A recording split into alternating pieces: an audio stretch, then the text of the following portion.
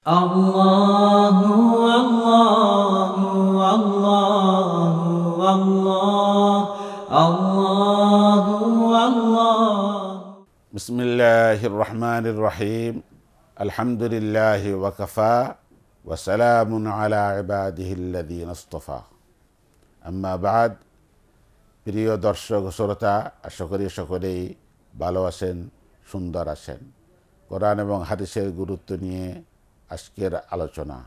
আশা করি সকলেই শ্রবণ করবেন, আমাদের সাথে থাকবেন।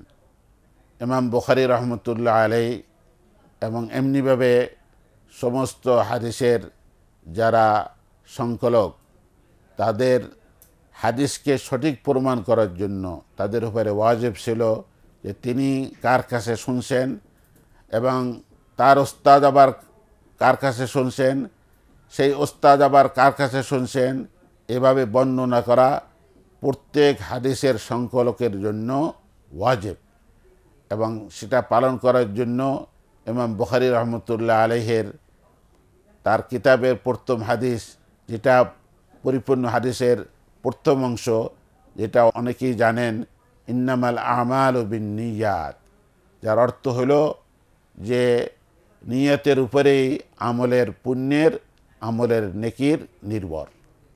এই হাদিস সম্পর্কে ইমাম বখারি বলেন যে আমি এই হাদিস আমার ওস্তাদ আমার শিক্ষক আবদুল্লাহ ইবনে জুবায়ের হুমায়দি যিনি মক্কার লোক ছিলেন, শুধু মক্কার নয়, নবীর বংশের, শুধু নবীর বংশের নয়, কোরাইশের, এইরকম ওস্তাদের থেকেই আমি আমার এই কিতাবের এই প্রথম হাদিস আমি শুনছি এবং এই হাদিসটি আমার কিতাবের প্রথমে আমি উল্লেখ করছি। ইমাম বখারি রহমতুল্লাহ আলের ওস্তাদ আবু বকার আবদুল্লাহ আবনে জোবায়ের হুমায়দি, তিনি বলেন যে, ইন্নামাল আমাল বিন নিয়াত এই হাদিস আমি সুফিয়ান বিন ওয়াইনা, আমার ওস্তাদ তার কাছে শুনছি। তিনি বলছেন, আমার শোনার তার বলার মধ্যে কোনো রকমের বিঘ্নতা ছিল না। এই সুফিয়ান বিন ওয়াইনা, তিনি তাবে তাবে ইন তিনি বলেন আমার ওস্তাদ হলো তাবে তার নাম হলো এহিয়া বিন সাঈদ। তার কাছে এই ইন্নামাল আমার বিন নিয়াদ এই হাদিস আমি শ্রবণ করছি। যিনি একজন তাবি ছিলেন, বড় বুজুর্গ ছিলেন এবং সততা, সাধুতা, যার যার চরিত্র ছিল, যার প্রখার মেধা ছিল, এই তাবি ওস্তাদের কাছে এই হাদিস আমি শ্রবণ করছি। এহিয়া আপনি সাইদ বলেন, আমি এই হাদিস আমার ওস্তাদ যিনি অত্যন্ত অভিজ্ঞ কোরআন এবং হারিসের অভিজ্ঞ এবং যিনি অত্যন্ত পরেশগার মোত্তাকি, যার জীবনে কোনো স্পট নেই, সেই ওস্তাদের নাম মোহাম্মদ বিন ইব্রাহিম তাইমি। তার কাছে এই হাদিস আমি শ্রবণ করছি। তিনি আমার কাছে এই হাদিস ব্যাখ্যা করছেন। তার ব্যাখ্যা করার ক্ষেত্রে আর আমার শ্রবণ করার ক্ষেত্রে কোনো রকমের বিঘ্নতা ছিল না, কোনো সন্দেহ ছিল না। মোহাম্মদ ইবনে ইব্রাহিম তাইমি, তিনি হলেন তাবি, তিনি বলেন, আমি আমার ওস্তাদ আলকামা ইবনে ওয়াক্কাস, যার সম্পর্কে কারও কারও মন্তব্য হলো সাহাবি ছিলেন আর কারও কারও মন্তব্য তাবি ছিলেন। মোহাম্মদ ইবনে ইব্রাহিম তাইমি বলেন যে, আলকামা বিন অক্কাসের কাছে আমি এই হাদিস শুনছি। আলকামা বিন অক্কাস তিনি বলেন, আমি ইন্নামাল আমাল বিন নিয়াত, এই হাদিস উমর ইবনুল খত্তাব রাজিউল্লাহ তালা আনুর কাছে শুনছি। তিনি স্বয়ং বর্ণনা করছেন। আর আমি আমার এই চরমের কান দিয়ে শুনছি, আমাদের, আমার শোনার মধ্যে এবং তার বর্ণনার মধ্যে কোনো রকমের সন্দেহ নেই।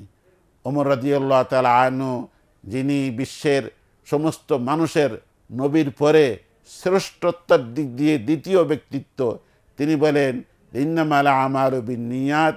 এই হাদিস আমি জনাব রসুল্লাহ সাল্লাহ তালা আলহি ওয়াসাল্লামের কাছে শ্রবণ করছি।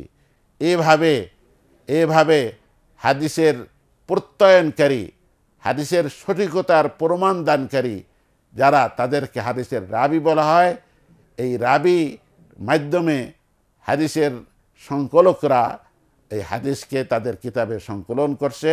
দুনিয়ার কোনো মানুষের হাদিসের ব্যাপারে সন্দেহ করার অবকাশ থাকবে না। সঠিক হাদিস যেটা, সেটা সঠিকই, যেটা দুর্বল হাদিস, সেটা দুর্বল হাদিস, যেটা জাল হাদিস, সেটা জাল হাদিস, এটার পার্থক্য করার ক্ষেত্রে মানুষের আর এখন কোনো বেগ পেতে হয় না। দর্শক শ্রোতা, আমরা একটা বিরতিতে যাব। বিরতির পরে অবশিষ্ট আলোচনা করব, ইনশাআল্লাহ।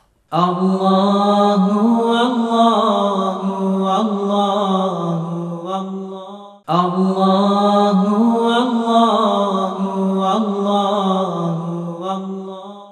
বিরতির পরে আমাদের পূর্বের যে আলোচনা, সেই আলোচনায় ফিরে আসলাম।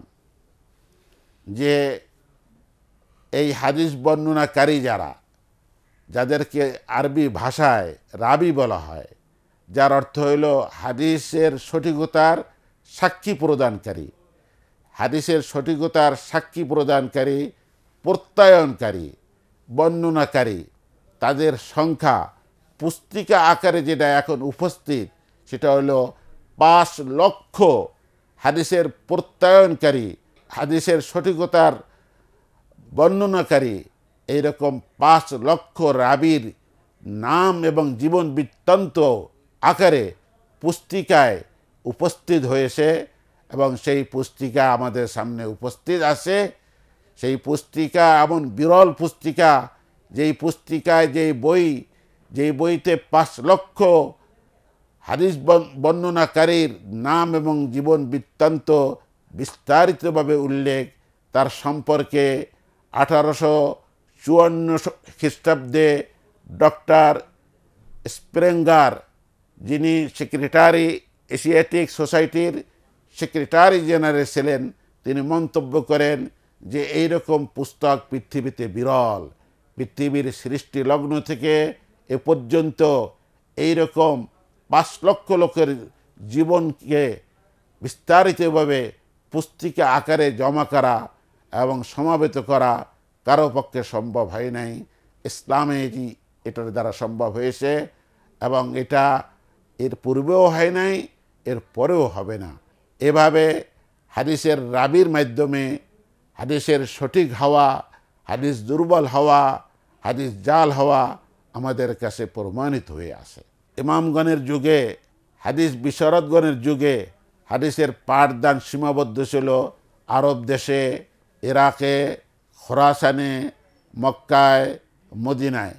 ভারতবর্ষ থেকে সর্বপ্রথম শেখ আব্দুল হক মহাদ্দেশে দেহলবি তিনি আরব দেশে গিয়ে বুখারি শরীফ, মুসলিম শরীফ এবং মোয়াত্তা, ইমাম মালেক এই তিনটি কিতাব নিয়ে ভারতবর্ষে হারিসের পাঠ আরম্ভ করেন।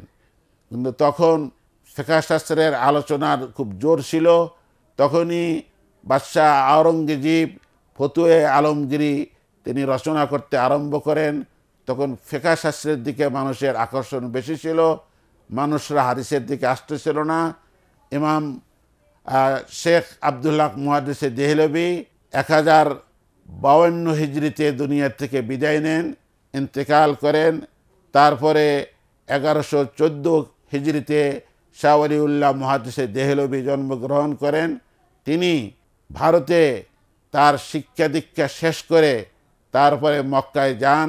সেখানে তার ওস্তাদ আবু তাহের হারিসের অভিজ্ঞ তার কাছে প্রায় এক বছর থাকেন এবং এক বছর থেকে তিনি সিয়াসেত্তার সমস্ত কিতাব ভারতবর্ষে নিয়ে আসেন এবং এগারোশো বাউন্ন হিজড়িতে হাদিসের পাঠদান যথার্থভাবে ভারতবর্ষে চালু করেন এবং ভারতবর্ষের সেই প্রচলনের দ্বারা, সম্প্রচারের দ্বারা ভারত, পাকিস্তান, বাংলাদেশ, আফগানিস্তান সকল দেশে হাদিসের দর্শ, হাদিসের পাঠ যথার্থভাবে চালু হয়ে যায়।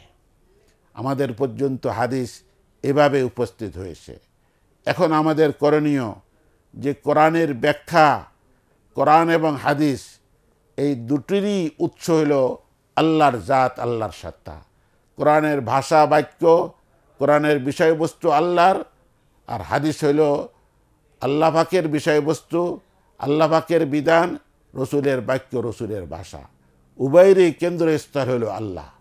অতএব কোরআনের ব্যাখ্যা যেটা কোরআনের যেটা মর্ব বা বাণী, এটাই রসুল তার জীবনে মানুষের সামনে তুলে ধরছেন। অতএব কোরআনের যেটা ব্যাখ্যা, কোরআনের যেটা বিশ্লেষণ, কোরআনের যেটা মর- মর্মবাণী কোরআনের যেটা বিধান, যেটা রসুল বর্ণনা করছেন এবং রসুলকে বর্ণনা করতে সুরায় অদ্দোহার মধ্যে আল্লাহ পাক নির্দেশ দিয়েছেন ওয়াম্মা বিনিয়ামত রব্বিকা ফাহাদ্দিস। আপনার উপরে কোরআনের যেই নিয়ামত এই নিয়ামত মানুষের সামনে বর্ণনা করুন। এই বর্ণনাটাই হইল হাদিস। অতএব সেই হাদিসের সাথে যদি আমরা সম্পর্ক করি, তাহলে কোরআনের সাথে সম্পর্ক হবে। কোরআনের সাথে সম্পর্কের দ্বারা আল্লাহর সাথে সম্পর্ক হবে। কোরআন, আল্লাহ, রসুল একটার সাথে সম্পর্ক করলে আরেকটার সাথে সম্পর্ক স্থাপিত হবে। অতএব আমাদের জানতে হবে রসুলের অনুসরণ কত জরুরি, কত অপরিহার্য। রসুলের অনুসরণের কথা কোরআনের মধ্যে তেত্রিশ স্থানের থেকেও অধিক জায়গায় আল্লাহ পাক রসুলের আনুগত্যের, রসুলের অনুসরণের কথা তাকিদের সাথে জোরালোভাবে উল্লেখ করছেন এবং তার লাভ এবং উপকারিতাও আল্লাহ পাক উল্লেখ করছেন। আল্লাহ পাক যেন আমাদেরকে এই কোরআন এবং হাদিসের সাথে সম্পর্ক স্থাপন করার এবং তদনুযায়ী আমল করার তৌফিক নসিব করেন আমা আলাইনা ইল্লাল বালাগুল মুবিন ওয়াখির দাওয়ানা আনিল আলহামদুলিল্লাহ রব্বিল আলমিন আসসালামু আলাইকুম রহমতুল্লাহি ওবরাকাতুহ الله الله الله الله الله